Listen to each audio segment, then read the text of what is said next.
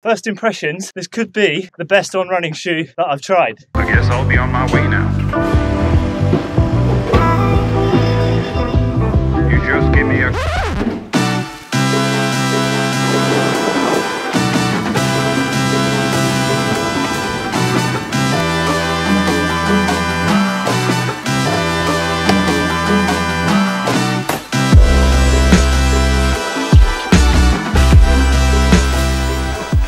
Good morning. So I'm back in the UK, and to my delight, there's been a couple of little deliveries um, from various companies of shoes to try out over the last two weeks since I've been out in Kenya. And one of them is here from On Running, the new Cloud Surfer that I'm going to be trying out today. Now, if most of you uh, follow the channel, you'll know that I was a big fan of the On Cloud Monster. So I'm really excited to try these. Let's have a little look.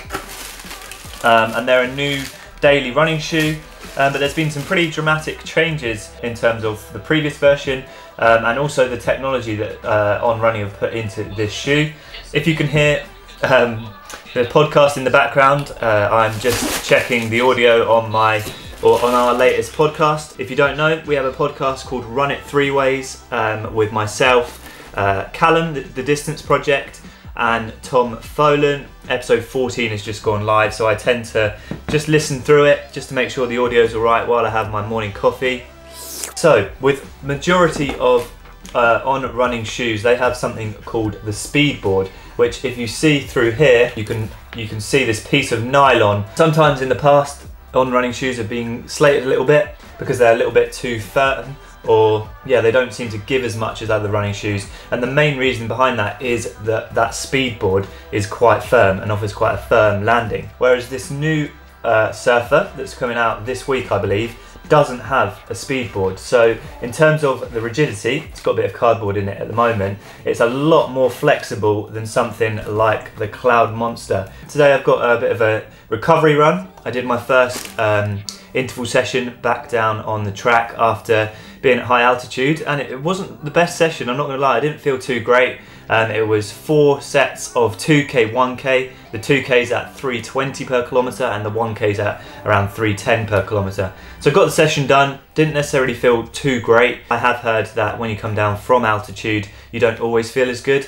Uh, the first few days, it takes about a week to to feel start to feel good again. And one final thing to mention here about the Cloud Surfer is the cloud elements in this shoe. As you can see, they're kind of stacked in a dominoes. That's how On are describing it in a dominoes formation. So that as you sort of go through the foot strike, they sort of propel you forward. That's the idea behind the sort of the geometry of these uh, cloud elements. So I'll be interested to see if I can feel that out on the run today. But I'm just going to finish my coffee, lace these up, and take them for probably around 20 25 kilometers at a nice recovery pace today um, and let you know my first impressions.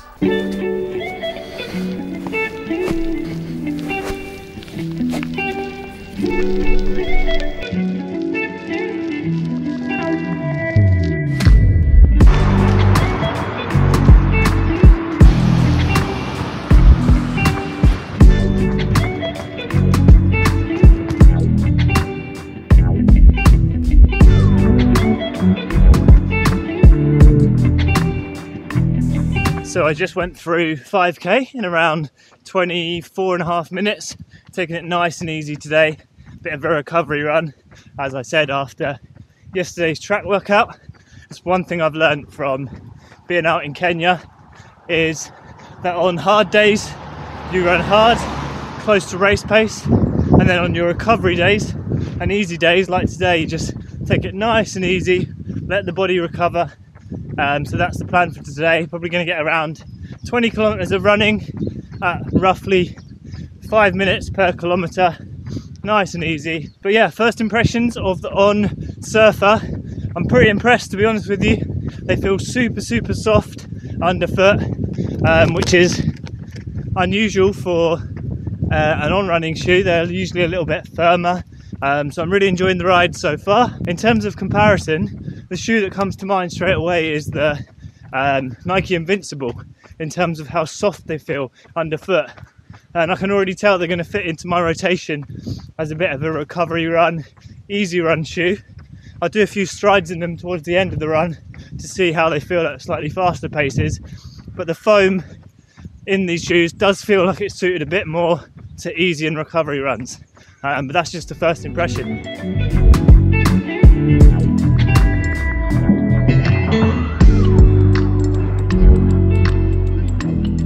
So I just went through 10k. Uh, really enjoying the shoes so far. If I had to describe them in two words, it would be soft and smooth. I can really feel those cloud elements on the bottom of the shoe, like compressing as my foot lands, and it gives a really nice sort of rocker sensation as you're running, which is ideal for a nice easy recovery run like today. My foot feels like it's striking the ground how it wants to, and the foot doesn't feel like it's being controlled by the shoe, which is really nice.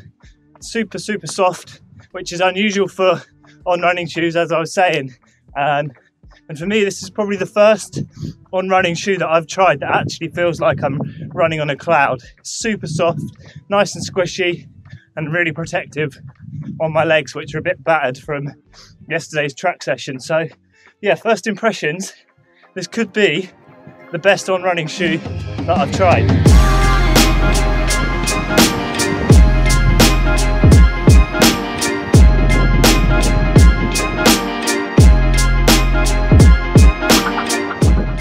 So I'm back from my run. First run in the Cloud Surfer 7 from On Running. Um, all in all, a pretty good run, 20 kilometers at 5.03 per kilometer. Just took it nice and easy today. As you can see, it's a little bit dirty. Um, I took it mainly on the roads, but did a little bit of uh, trails, and it handled it pretty well. The shoe has got the, the usual groove that on running shoes have. It's not so deep and you're probably not going to catch any stones, but if you run in the mud like I did, then it has picked up a little bit of mud underneath. Before I go into some likes and dislikes and give you my first impression, I thought I would share some stats and key features. So we'll start with the midsole, which is where the most um, innovation has taken place in this shoe. So On Running have used a new technology that they're calling the Cloud Tech Phase. It's written on the bottom of the shoe here. Um, and it basically means that this uh, midsole has been redesigned, still has the cloud elements that the all the other run, on running shoes have, but the way they've been designed is a little bit different. As you can see, they sort of almost collapse in on each other as you go through your foot strike in a dominoes uh, sensation. And to be honest with you, it feels really, really good underfoot.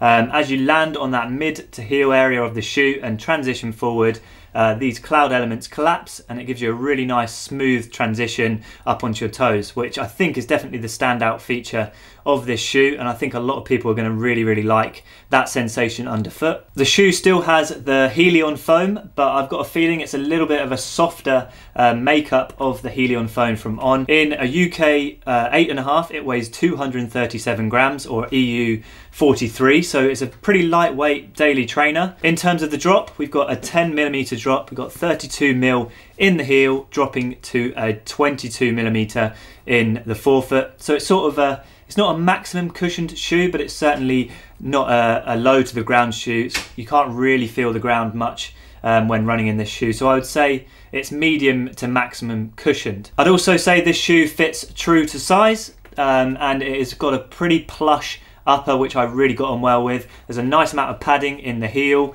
no heel slippage at all and the tongue here is a lot thicker than on the Cloud Monster. So you get a lot nicer um, lockdown, a lot more comfortable. Um, and I ran 20 kilometers in this shoe, an hour and 40 minutes of running, and had absolutely no hot spots or issues in this shoe. The only other stats to mention are the upper. It has an engineered mesh upper, and it's sort of got a double layer of that so very comfortable. And we've got an interesting sort of uh, lace lock system here with these pull tabs which yeah seem to work pretty well. A pretty good lockdown. So moving on to my first impressions. As with all shoes here on the channel I like to give some likes and dislikes. So we'll start with the likes um, for me, super, super lightweight compared to other on running shoes and compared to other daily trainers, it's right up there at 237 grams. I also really enjoyed the comfort of this shoe. As I said, straight out of the box, 20 kilometers, no issues whatsoever. A very plush upper and heel counter. I reckon this is going to be great for those long, slow runs.